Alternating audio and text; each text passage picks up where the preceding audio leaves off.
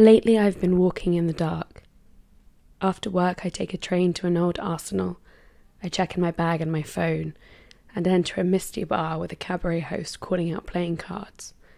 Some days I am six of hearts, others four of diamonds, occasionally a two or a nine, and very rarely an ace. When my card is called, I am welcomed into a room full of white masks and told to pick one off the wall. From here, there is no talking. A shadow or a god advises us to let go of any hands we are holding and wander the labyrinth. We are already lost. I spend the next three hours in the burnt city, and no visit is truly planned. Who will I end up following? What will I end up following? Sometimes it's a character, a storyline, a lighting cue, a music cue, a flower, a theme. The pieces of this story are falling together in earnest, although that suggests they make one static picture, like a puzzle, when really it is a ship of Theseus, its planks swapped for others.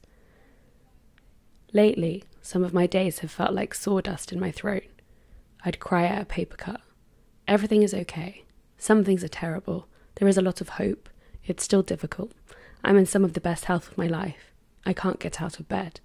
I don't want to talk to people. I cancel plans, make excuses, book tickets, go walking in the dark. What is this place? I have heard that question on a loop. Trying to answer it has revealed how flatly I answer the same question about other stories. Here is the plot. Here is the characters. Here is something I loved. The Burnt City resists that simple description because to explore the Burnt City is to loop by nature. The cast changes every show. You might meet some shadows as partners, but the next visit they are on a lonely loop. But how is it structured? What a question. Here is an incomplete answer. There are three acts, and many of the shadows you encounter walk a similar path each hour, but not all of them do. Though this be madness, yet there is method in it. To attend is to practice ritual. You are entering a dream, a performance, a mystery. I am not sure that it is your recurring dream, nor that it is your performance. It's nearly summer, my favourite time of year, and so much is going wrong. It's nearly summer, and almost everything that was wrong this time of year last year is right. Before she was attacked by Hades, Persephone's role was to paint all the flowers. I am painting my living room, my hallway, my office, my kitchen, my bedroom eventually. I am following colour that has echoes of different kinds of homes, of Mexico and sunshine and desert and peace.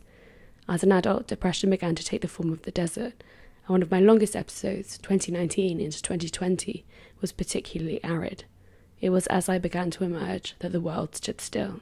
Different people respond to different cues of light and music and spatial layout. That's something I've learned about myself.